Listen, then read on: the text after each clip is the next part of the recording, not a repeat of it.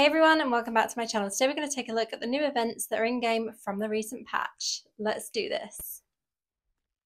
So kicking off with the events, we still have Risk and Rally active. So this I'm not that great at. I'm currently ranked 14th simply because I missed one or two dungeons on my work days.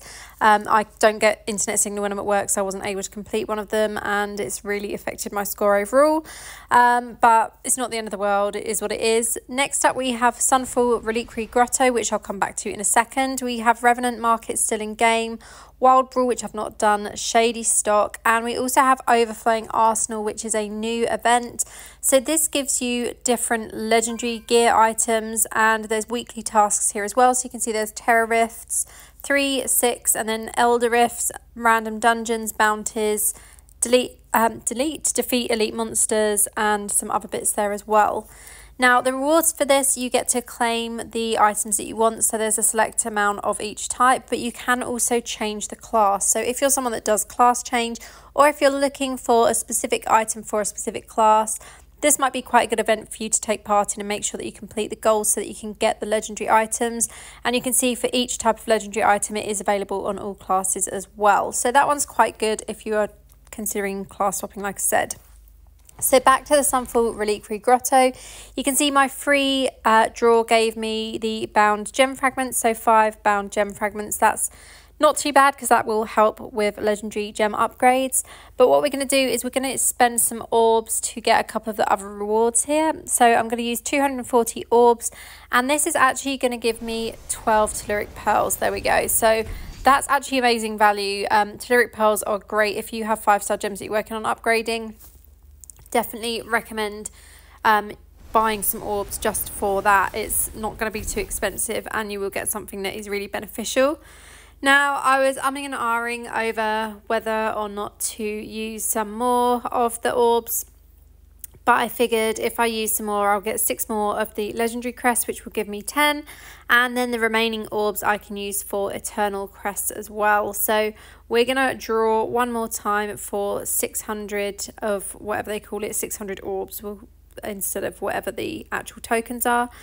And there we go, we've got six legendary crests, so that's 10 in total. So we're going to go ahead and run these now and see if we get anything decent. Now, as always, we're obviously going to hope for a couple of five-star gems, but I also don't want to get my hopes up too much because I know that I'm not due any five-star gems anytime soon. And also when they do drop, I've been finding that most of the time I'm only getting 2 out of 5 quality, which is fine in a way because there's no legendary gems that I'm specifically looking for anymore. However, I would really still like to get a high quality Roiling Consequence or um, Gloomcast because both of those that I'm using currently are only rank 3 or quality 3 should I say. Um, oh, we have these Demon Spires here. So this is my favourite modifier in an Elder Rift is the Demon Spires because they will drop extra loot which sometimes just means scrap material. Other times you might get lucky and you might actually get legendary items from this. Um, but you'll see uh, as we get to the boss how much loot you actually get from destroying those spires. A lot more drops from using them. So boss is about to spawn now. I've gone the wrong way. And we have the Crusader King. Let's take him down. Hope for some good gems. You can see all the gear that is dropping from having those demon spires, so they are really worth looking for if you get them in a rift. Unfortunately, there is no white beam, so this means it's all going to be one and two star gems. Obviously, these are not sellable gems, so this will all be used for gem power. So let's have a little look at what we've got from this first run. So not completely awful. We have only got two two star gems, um, but like I said, these will all be used for gem power anyway.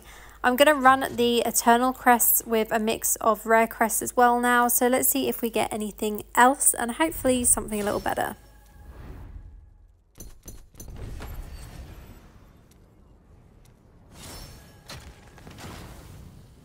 You can see we have four Eternal Crests in total for this run and one of these is crafted from the Fading Embers. So every week if you don't already do so make sure you cap your Elder Rifts because they will give you Fading Embers and then you'll be able to craft Eternal Crests. So I make sure I cap my Rifts every week for this reason simply so that I can craft those Eternal Crests. You can also use Fading, Ember, Fading Embers sorry, to craft legendary gems. Now it will give you a random legendary gem. It does give you the chance of a five star gem. However, the last time I risked using all my embers for that, I actually only got a one star gem. So I will not be doing that anytime soon.